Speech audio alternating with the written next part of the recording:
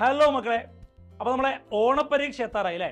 ഓണപ്പരീക്ഷയ്ക്ക് ഫിസിക്സിൽ ഏതൊക്കെ ചാപ്റ്ററാണ് പഠിക്കേണ്ടത് എന്ന ഒരു ഡൗട്ട് നമ്മളുടെ ഉള്ളിൽ ഉണ്ടാവും ഓക്കെ അപ്പോൾ ഏതൊക്കെ ചാപ്റ്റേഴ്സ് ആണ് പഠിക്കേണ്ടത് എന്നാണ് ഈ ഒരു വീഡിയോയിൽ ഞാൻ പറയാൻ പോകുന്നത്.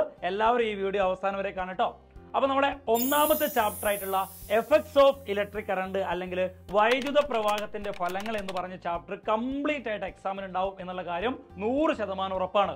ഇനി നമ്മൾ രണ്ടാമത്തെ ചാപ്റ്റർ ആയിട്ടുള്ള magnetic effect of electric current അല്ലെങ്കിൽ വൈദ്യുത കാന്തിക ഫലം എന്ന് പറഞ്ഞ പാഠവും കംപ്ലീറ്റ് ആയിട്ട് എക്സാമിന് ഉണ്ടാവും.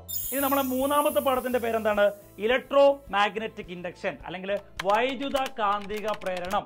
ആ ചാപ്റ്ററിലെ A C D C graph വരെയാണ് നമ്മളെ എക്സാമിന് ഉണ്ടാവുക ഓക്കെ ഈ ഒരു വിവരം നമുക്ക് കിട്ടുന്നത് എവിടെ നിന്നാണ് സ്കീം ഓഫ് വർക്കിൽ നിന്നാണ്. നമ്മുടെ വിദ്യാഭ്യാസ വകുപ്പ് ഇറക്കുന്ന സ്കീം ഓഫ് വർക്ക് പ്രകാരം ആഗസ്റ്റ് അവസാനമാകുമ്പോഴേക്ക് നമ്മുടെ മൂന്നാമത്തെ ചാപ്റ്ററിലെ ഏത് വരെ തീർക്കണം?